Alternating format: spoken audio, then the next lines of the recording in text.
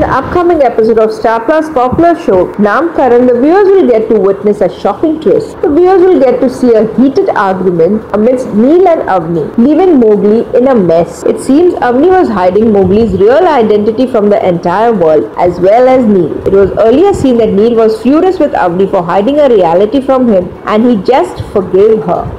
But a major blow is waiting ahead in Neil and Avni's life. That is Mowgli's real identity of Neil and Avni's son. The viewers will get to witness a heated argument amongst Neil and Avni, while Neil will learn this fact, leaving Mowgli in a mess, thinking about whom he should support. Let's see what happens next on the show. Keep watching our channel TV Prime Time for more such exciting updates and upcoming twists.